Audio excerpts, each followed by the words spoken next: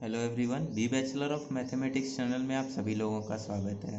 तो जैसा कि आप जानते हैं कि हमने अपने पिछले वीडियो में पढ़ा था कि सब ग्रुप क्या होता है, और उसमें हमने ये देखा था कि किसी भी एक नॉन एम्प्टी सेट को सब ग्रुप दिखाने के लिए क्या उसकी नेसेसरी कंडीशन होती है तो हमने उसमें पढ़ा था कि अल्फ़ा और बीटा कोई भी अगर दो एलिमेंट दिए हों किसी भी एक सेट के, अगर सी अल्फ़ा प्लस बीटा उसी सेट में बिलोंग करता है तो वो उसका क्या कहलाता है? सब स्पेस कहलाता है। तो इसी तरीके से हम लोगों को क्वेश्चंस में भी क्या दे दिया जाएगा? एक सेट दे दिया जाएगा। और हमें इस कंडीशन को फॉलो करना होगा कि सी अल्फ़ा प्लस बीटा अगर उसी सेट में लाई करेगा तो वो हमारा सब ग्रुप होगा। और नहीं तो वो नहीं होगा।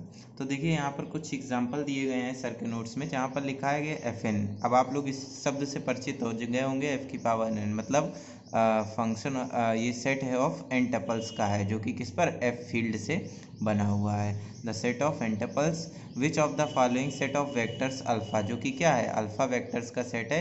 अब ज़ाहिर सी बात है एफ़ की पावर एन है तो मतलब एक एलिमेंट में कितने इसमें नंबर्स होंगे? एन एन नंबर्स होंगे तो X one X two X three N numbers का ये हमारा एक अकेला वेक्टर दिया गया है।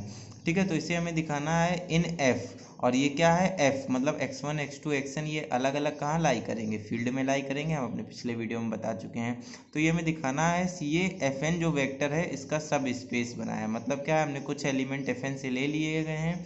इस तरीके से जैसे अल्फ़ा जो है इस तरीके का एलिमेंट ले लिए हैं और उससे एक सेट बनाया है डब्लू नाम का।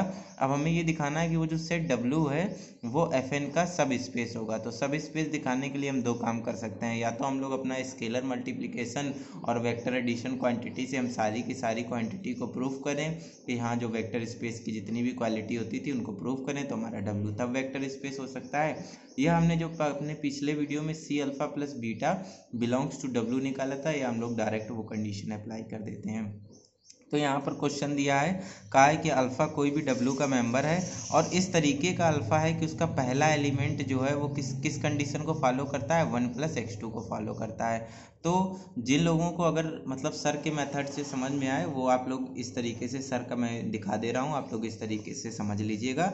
मेरे पास एक दूसरा मेथड है इसको बताने का ठीक है? तो मैं अपने उस मेथड से आप लोगों को बताऊँगा। तो आई होप आप लोगों ने नोट कर लिया होगा सर का तो चलिए देखते हैं हम किस तरीके से आपको इस चीज़ को प्रूव करना बताते हैं। तो देखिए, वही क्वेश्चन हमारे सामने लिखा है। अल्फ़ा एक लिया गया है और एक्स वन बराबर वन प्लस एक्स टू लिया गया है।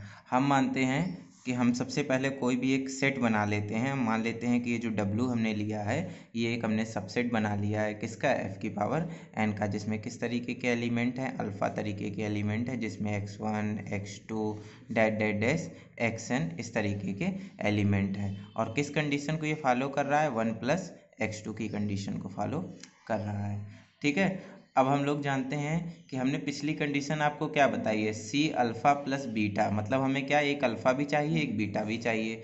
हमने माना लेट अल्फ़ा कॉमा बीटा ये सारे किसके मेंबर हैं? डब्लू के मेंबर हैं। और ये लिए किसमें गए हैं? साथ ही साथ ये किसके मेंबर होंगे? अल्फ़ा कॉमा बीटा ये मेंबर होंगे किसके? एफ़ की पावर एन के भी मेंबर हैं।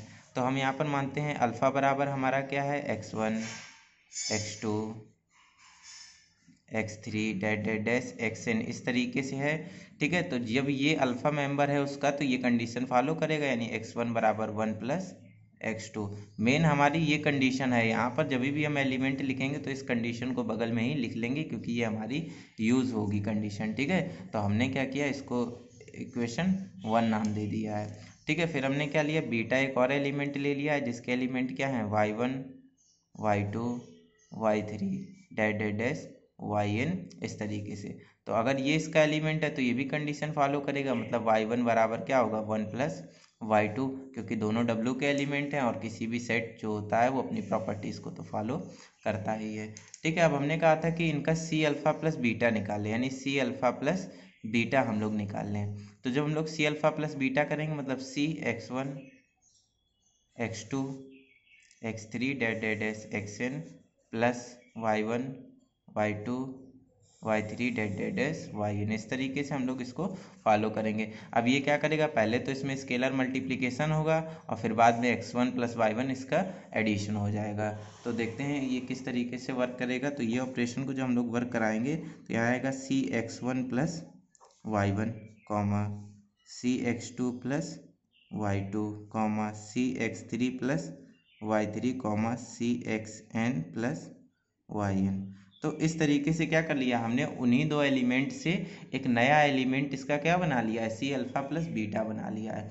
हमें क्या प्रूफ करना है कि जो सी अल्फ़ा प्लस बीटा है, वो भी डब्लू का एलिमेंट होगा? यही तो हमने अपनी थ्योरम में किया था। अगर ऐसा हो जाता है तो डब्लू क्या हो जाएगा? सब स्पेस हो जाएगा एफ़ की पावर एन का। मतलब इस इस डब्लू के एलिमेंट होने के लिए मतलब क्या कंडीशन थी? डब्लू के एलिमेंट के होने के लिए कंडीशन हमारे पास ये थी कि जैसे ये सारे एलिमेंट दिए हैं तो इसमें से पहला एलिमेंट ले लें हम लोग, और वो पहला एलिमेंट किसके बराबर आना चाहिए? वन प्लस वाई टू के बराबर आना चाहिए। तो चलिए, ये भी हमने एक नया क्या कहते हैं, एक एलिमेंट बनाया है तो हम लोग क्या करते हैं according to the condition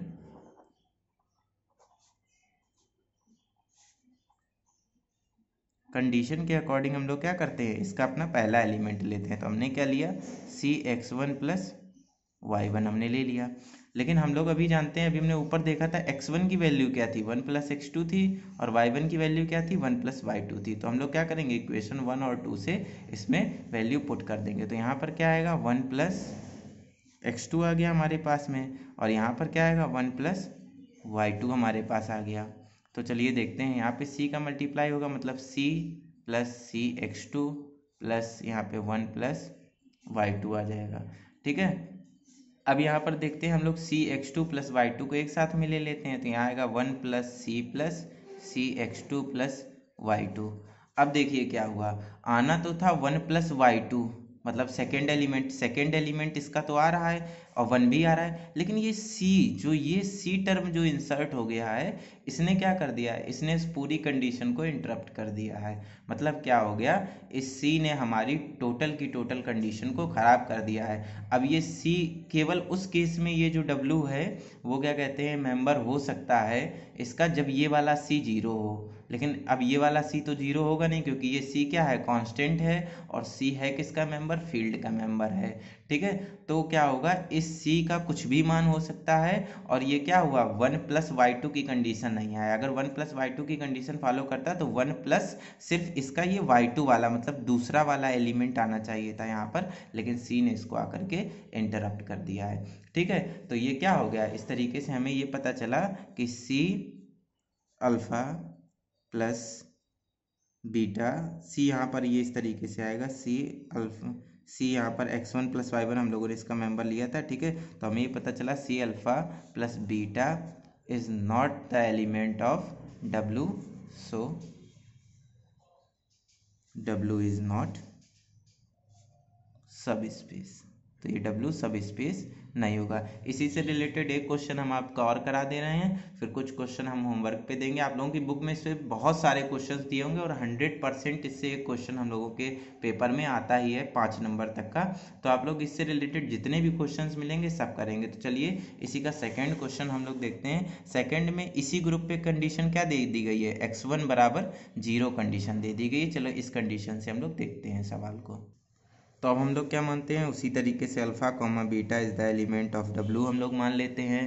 ठीक है? अल्फ़ा की वैल्यू यहाँ पर क्या दे रखी है? X one comma X two comma X three इस तरीके से एक्स एन तक दे रखा है। ठीक है? और इसकी कंडीशन क्या है? कि एक्स वन बराबर ज़ीरो जैसा कि हमने अभी बताया। मतलब जो पहला एलिमेंट लें, वो ज़ीरो हमारा आना चाहिए। इसी तरीके से हमने बीटा ले लिया। तो वो हमारा क्या आ गया? इस तरीके से यहाँ पे Y one Y two Y three dot dot dash Y N इसमें क्या कंडीशन लगेगी? वाई वन बराबर ज़ीरो क्योंकि दोनों डब्ल्यू के एलिमेंट है। अब हम लोग इसका सी अल्फ़ा प्लस बीटा निकाल लेते हैं। तो पहले से हम लोगों को पता है C X one plus Y one comma C X two plus Y two comma C X three plus Y three dot dot dash C X N plus Y N ठीक है? तो इस तरीके से क्या हो जाएगा? हमें एक और सेट मिल जाएगा। अब हम कंडीशन के अकॉर्डिंग क्या करेंगे? हमें पहला एलिमेंट ज़ीरो दिखाना है। तो हम लोग इस ग्रुप का पहला एलिमेंट लेंगे मतलब अकॉर्डिंग टू कंडीशन हमने क्या किया? इसका पहला एलिमेंट ले लिया C X one plus Y one अब हम लोग क्या करें? C X one plus Y one इसको हमने इक्वेशन वन मान लिया। इसको हम लोग इक्वेशन टू मान लें तो इक्वेशन वन से जब हम लोग एक्स वन की वैल्यू यहाँ ज़ीरो रखेंगे और इक्वेशन वाई वन से हम टू से हम लोग वाई वन की वैल्यू यहाँ ज़ीरो रखेंगे तो ये क्या हो जाएगा? C into zero plus zero तो इसके मान क्या आ जाएगा? ज़ीरो मतलब क्या हो गया? इसने वही कंडीशन फॉलो कर ली, हमने इसका पहला एलिमेंट लिया और हमारा C X one plus Y one हमारा क्या आ गया? ज़ीरो आ गया है। मतलब क्या कर दिया इसने? सब ग्रुप की टोटल जो कंडीशन थी वो फॉलो कर दी। मतलब क्या हो गया? सी अल्फ़ा प्लस बीटा जो हो जाएगा वो हमारा एलिमेंट हो जाएगा किसका? डब्लू का। So W is subspace ठीक है तो हमारा डब्लू क्या हो गया? सब स्पेस हो गया। इसी तरीके से आप लोग क्या करेंगे? सारे सवाल लगाएँगे, जितने भी दिए हुए हैं। बहुत आसान मेथड है और बहुत ही ऑथेंटिक मेथड है इजी मेथड है और बहुत आसानी से आप लोगों को आ जाएगा। हंड्रेड परसेंट इससे क्वेश्चन आता है। अब मैं कुछ क्वेश्चन आप लोगों के सर के, उससे दिखा देता हूँ। सर ने इस मेथड से नहीं किया है। सर ने प्रॉपर्टीज़ को देखा है, लेकिन अब सर तो सर ही हैं, इस वजह से उनकी प्रॉपर उनको, इनके दिमाग में ये चलता रहता है कि किस प्रॉपर्टी को फॉलो नहीं करेगा। तो सर ने डायरेक्ट कर दिया था। तो सबसे पहले आप लोग ये तीन क्वेश्चन करेंगे। वन टू थ्री ये जो क्वेश्चन दिए गए हैं, देखिए 2007 2012 में आया है और ये क्वेश्चन 2011 में आया है। उसके बाद में हमारे पास में नीचे कुछ क्वेश्चन दिए गए हैं। ये ए बी और सी क्वेश्चन दिए गए हैं, ठीक है? यहाँ पर भी अल्फ़ा किसके? A one A two A N के बराबर है, जो कि रियल नंबर्स का सेट है।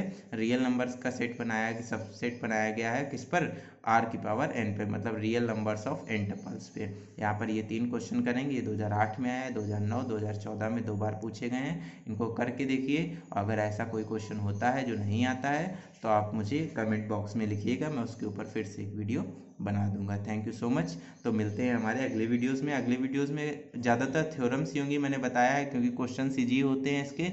मेन थ्योरम्स ही समझाना बहुत कठिन होता है तो हम लोग थ्योरम्स पर ही ज़्यादा बात करेंगे। थैंक यू सो मच मिलते हैं हमारे नेक्स्ट वीडियो में।